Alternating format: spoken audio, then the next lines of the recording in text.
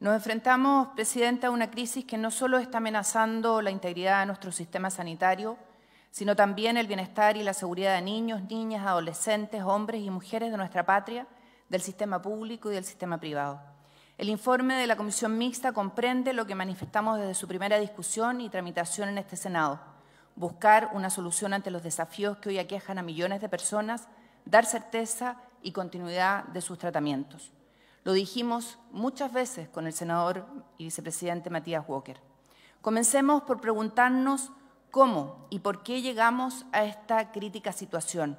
¿Es acaso el resultado de un sistema que ha sido desafiado tanto por demandas internas como por choques externos como la pandemia? ¿O es más bien el producto de años de regulaciones insuficientes y una falta de ajustes que realmente atienden, atiendan las necesidades de todos los chilenos y chilenas? Sin duda, las causas son múltiples. Y en materia de seguridad social y salud, la iniciativa es exclusiva del Ejecutivo. Las cifras son claras y preocupantes. Un 61% de nuestra población se siente insatisfecha con la disponibilidad y calidad de los servicios de salud, una cifra que contrasta con el promedio de la OSD. ¿Qué dice esto de nuestro compromiso con la salud como un derecho fundamental? El asegurador privado, sin lugar a duda, enfrenta una crisis de solvencia, aumentada por fallos judiciales recientes que decidieron conforme al principio de equidad, pero sin reparar en la continuidad del sistema de salud en su conjunto y que olvidaron los principios de la seguridad social y del efecto relativo de los fallos. Por otro lado, el sistema público FONASA se ve desbordado con listas de espera donde mueren miles de chilenos año a año, hecho que pareciera no ser tema incluso y que genera un silencio que llega a sorprender. Entre los años 2022 y 2023, más de 77.000 personas del sistema público FONASA murieron por falta de atención. ¿Es justo que el acceso a tratamientos esenciales se convierta en una carrera contra el tiempo que la mayoría no puede ganar? Sin lugar a duda, no. ¿Cómo es posible que a pesar de las normativas y los sistemas establecidos para gestionar listas de espera, sigamos dando discusiones tan alejadas de las necesidades de los chilenos?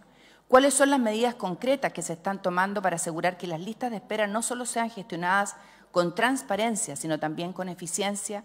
Según un informe de auditoría realizado por la Contraloría General de la República del Hospital Sotero del Río, se detectó que 100 cirugías a funcionarios y sus familiares fueron realizadas en tiempo récord, obviando las listas de espera regulares.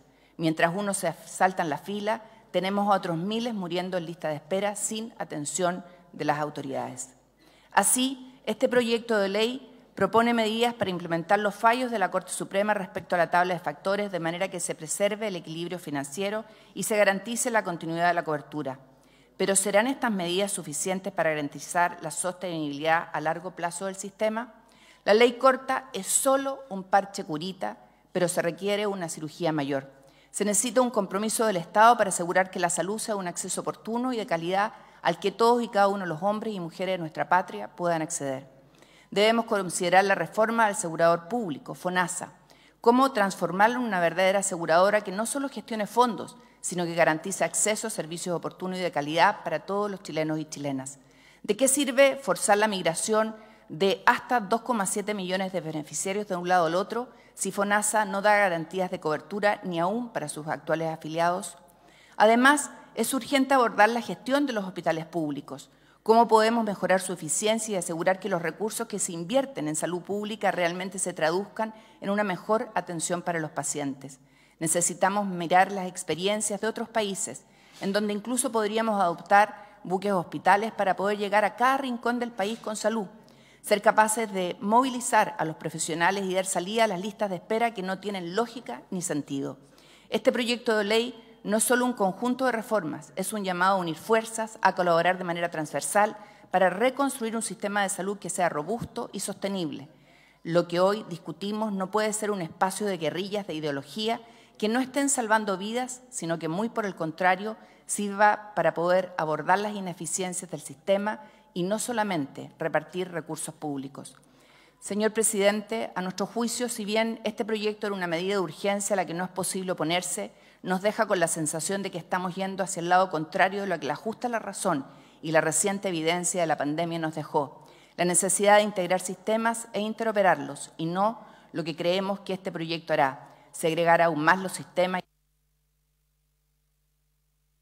segregar más aún a, las personas y al sistema, pues algunos solo miran desde su óptica miope ideológica. Finalmente, presidente, un colega señalaba que este proyecto era para los poseedores de las grandes fortunas. La verdad, todos ellos, cuando tienen un problema de salud, simplemente se van a la clínica Mayo o incluso a la NASA. Muchas gracias.